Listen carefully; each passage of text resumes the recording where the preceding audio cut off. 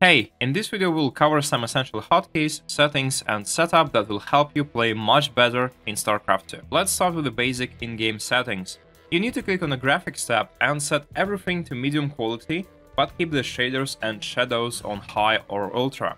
This is done to maximize the FPS in the game, as well as remove any non-essential effects that may distract you. Too much detail also makes your eyes tired faster. As for shadows, it's necessary to spot banshees Dark Templars and Observers, and with such settings it's easier to accomplish. On the Sound tab, you don't really need any specific settings, but make sure to turn off any ambient sounds that might distract you, as well as music, or at least make it somewhat quiet. On the Mouse tab, turn off mouse wheel zoom as it's unnecessary but keep reduce mouse lag. Additionally, if you have a gamer mouse, you should probably have a specified application where you can set your preferred setting. It's much better to do that there than actually in-game, so disable in-game mouse sensitivity and do the work in your mouse brand's app. For me, it's SteelSeries for example. As for general mouse settings, I believe it's good to have a fast speed overall, including scroll settings. It allows you to move your camera quickly without applying too much effort in real life on your mousepad, and I personally find such settings to be good for extra APM boost. But it's up to you though, but you can try different setups, including the fast one. On the gameplay tab, make sure to check all the boxes that I have here. Those just make gaming experience easier and I won't go into details since, well, I just don't want to waste much of your time. As for control groups, I strongly suggest them to be unassignable or unclickable, because sometimes you can accidentally click on those icons and reassign something in a wrong way, and we certainly don't want to make extra mistakes on top of other things in this game. Color tab doesn't matter as much, but studies show that human eyes react best to green and red lights, so I suggest you set a fixed color for your and enemy forces so that you don't get confused with color switches between matches. Other tabs are not interesting for us, so let's get to the hotkeys. There are two crucial things that you must have to be twice as efficient. The first thing is camera hotkeys. They allow you to quickly move between camera locations that you create and lock in your match.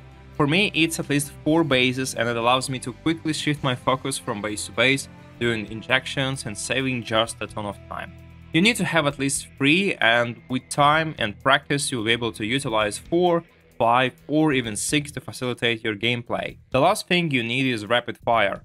You can access that in the Unit Management tab, specific line is called Choose Ability or AI Target. This thing is used for fast Ravagers biles or Ghost snapshots and some other things, and it could be extremely useful in many situations. So this is how it looks with no rapid fire, and this is with rapid fire. With rapid fire, you just press and hold one key and move your mouse around the targets without clicking it.